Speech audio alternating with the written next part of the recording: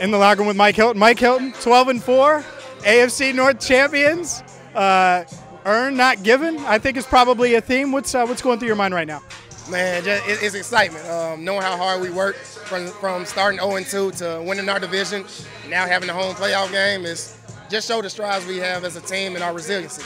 There was a lot that went on this week, on the field, off the field, everything with Damar, everything with the NFL and the playoff changes and everything. How hard was it navigating the waters and, and getting in, getting the right mindset going into today's game? Uh, it was definitely difficult, especially early in the week. But just throughout the whole week, getting those positive updates about Damar, it kind of took that weight off everybody's shoulders and kind of reset everybody's focus and knowing what we had to do this weekend. And I told everybody else, like before we came out uh, for warm-ups, guy just kind of talked about just relax, reset your mind, play your game, and play every play like this your last. So.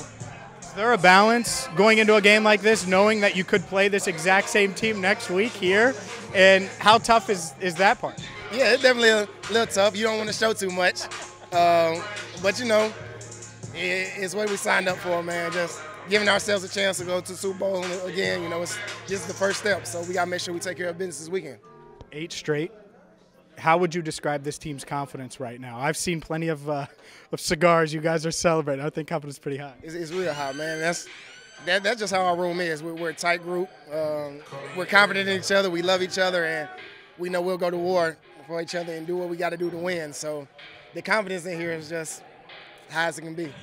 Mike, I appreciate the time. Thanks for uh, giving us a few, and uh, go celebrate with your team. Appreciate it, Jay.